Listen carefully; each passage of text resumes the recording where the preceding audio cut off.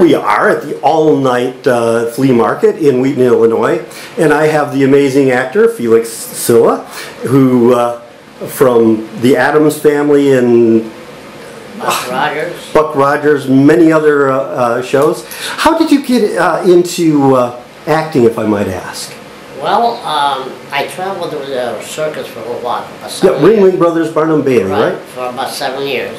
In 1962, we, did, we were playing at the Los Angeles Sports Arena in California. Mm-hmm. And I said to myself, I had enough. I, you know, I was traveling back and forth for seven years. I said, I just had enough. I don't, I want to quit, and I want, to, I wanted to stay in California. So I went to work for a company that they do. Pub, they used to do publicity for the circus when they came to town. So I was there answering the phone and doing publicity here and there for the Pacific Ocean Park. And one day, a gentleman came from MGM Studio, and he said to me, you know, Felix, they're looking for little people down at MGM. They've been doing a movie. They're looking for little people to double a little boy. So at that time, I didn't have a car. Uh, I just moved there, and, and so he said, why don't you go down there? But, you know, you never know. So a friend of mine drove me to MGM Studio, and they looked at me, and I was the same exact size of the little kid that I uh, they chose me to double it, to do some stunts. And the movie was called A Ticklish Affair, with uh, Shirley Jones, Karen Jones, Gig Young, uh, Red Buttons, Ed Buchanan. So I, they, they used to hang me on a, on a, on a crane, 110 feet off the ground Oh, wow. every day, five days a week. They put a makeup on me to look like a little boy. And the, the thing was that uh, Gig Young was in the Navy, and he tried to teach the kid, this, this said to him, to the little boy, said, you know, this is the way we're going to go to the moon someday. So they put his bunch of balloons with the helium, with the harness, and so uh, there I was, flying on a, on a crane, 110 feet off the ground. So uh, one, one day we were filming on a, a beautiful golf course, and uh, I'm up there, and all of a sudden I look down, and everybody's moving away from the camera. and uh, I say, hey guys, uh, what's, what's going on? Where are you guys going? Well, we're going to lunch. I said, what? We're going to lunch. I said, what about me? Oh, I'm sorry, we forgot all about you. they got me down, so I went to lunch. Now, that was my first movie. Then uh, the Planet of the Apes came, the, with Charlton Heston, Mhm. the very, very first. And that's how everything got started in the Addams family. And it took a little while to really get some good jobs, but I had a lot of fun. I really enjoyed it. The movie industry was good to me, and matter of fact, you know, they pay a good pension. And here I am in uh, Illinois, do a over all-night flea market signing autographs with the, some of my friends from the Addams family. And uh, so, I know you have some question. I know you're going to ask me. Oh yeah, I have to ask, and I'm sure you've been asked it before, but what is your favorite role that you've done?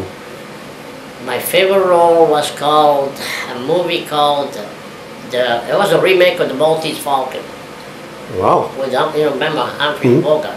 Oh, yeah. So they did a remake with George Segal. It was called The Blackbird. Right. George Segal played Sam Spade, and uh, I played the part of Sidney. Uh, uh, Sidney, what was his name? I can never remember his last name. The guy was looking for the for the for the Falcon Right. because the Falcon was loaded, stuffed with diamonds. Mhm. So I played the German. They, they uh, shaved my head. They made a ju- beautiful German uniform, uh, riding boots, you know, and uh, I played the part. So it was a, a comedy. There was a lot of dialogue, but it really, really didn't do much for me because they're released as a together with a uh, an X-ray film. So Really? and that was a really great part. I mean, I really enjoyed it. I had a lot of fun filming and doing it. Uh, George Segal was a great guy, but I just didn't do anything for me because they, you know, they they're released together with some X-rated. That uh, that's it. I mean, you know, it was a really really nice. I Very had uh, strange. a lot of dialogue. It was wonderful. Yeah. Well, on that note, I have to ask you: Is there any dream role that you've never played that you would really love to? Actually, I'd like to do a western with Sophia Loren, but and now we're both too old that nobody wants to invest the money. We don't find any producer to, to do a film with. I love Sophia Loren. Do you have a film that you've got in mind? Uh, script? That, that's a western I want to do with her. Just a western? Just a western, yeah, just to be with her. So, uh, Well, in this western uh, that you want to be in with Sophia Loren, what character would you play? I'll play like, uh, like uh, Clark Gable that he played in uh, Gone with the Wind, you know, whatever, whatever, you know. Awesome. But I was in an episode of Bonanza. I did an episode of Bonanza Mhm. called The Hoss, Hoss and the Leprechauns. Right, right. It comes on every year around St. Patrick. It's funny, funny episode. It's all about the six little guys, the leprechauns. hmm We got stuck in the Ponderosa. And uh, I, I don't know if you've seen it. If you see that, you laugh.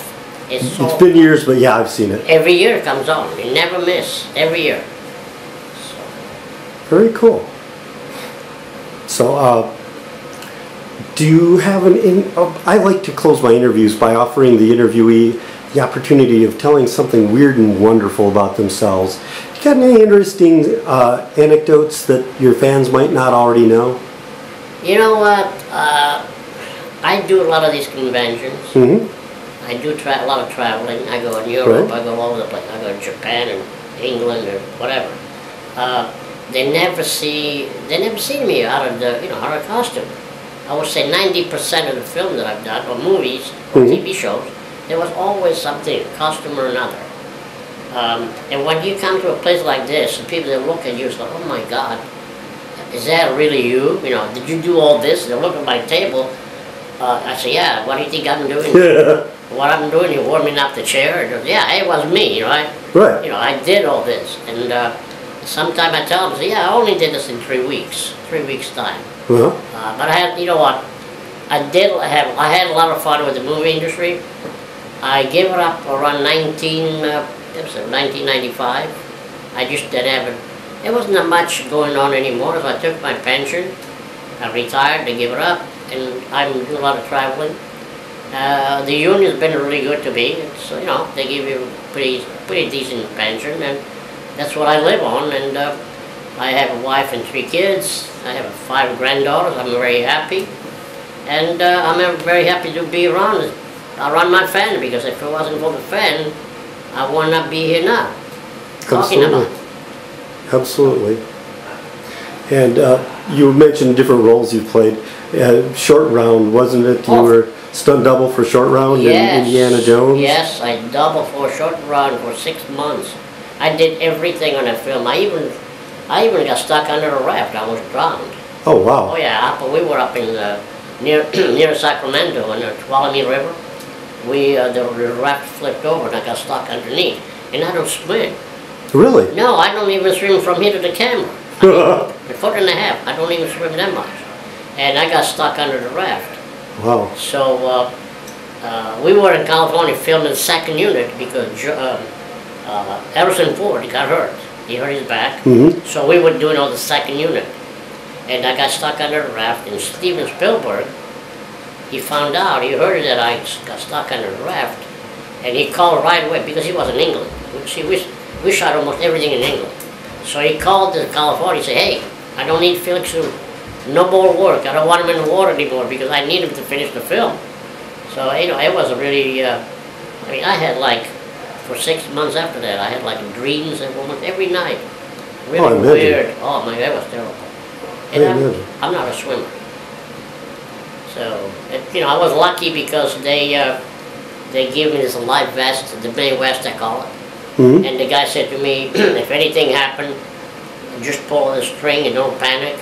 And I'm under there, and uh, you know, I see something yellow on my head, on, top my, on top of me, Right. the bottom of the raft. And I see something nice, fresh water, and, and I couldn't figure out what to do. Know, I said, should I let it loose or hang on?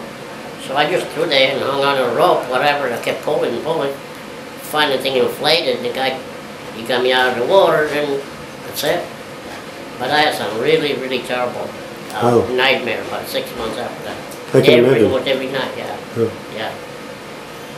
Well, uh, Felix, do you have a website or Facebook? Uh, Uh, how would people find more about you? They could find me on uh, felixsilla.com. and they could go to my email address, excuse me, is tweaky1 at cox.net.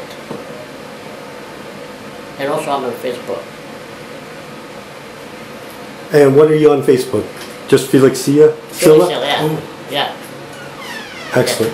Yeah. Well, thank you so much, Mr. Si- Silla. And uh, uh, do you have anything else you'd like You're to add? welcome, and uh, I'm really enjoying to see all this crowd in here. I'm sweating, and, but it's it's a lot of fun, you know. I really Absolutely. like Jimmy been after me for a year to do this, and I kept saying no, I don't want to do it. I don't want to do it. Finally, I came and said, okay, I'll do it, and here I am. And uh, thank you to Mr. Zurko for let me, you know, for inviting me, and uh, and we have a lot of fun. I hope three o'clock comes really quick because I'm, I, I I need a cup of coffee so bad. Oh, no. I don't even know where's the cup of coffee. Anyway, thank you so much for. Thank uh, you. It's a pleasure. And from the all-night flea market in Wheaton, Illinois, this has been the Weird Reviews News Show and Felix Silla. Thank, you you. so much. Thank you.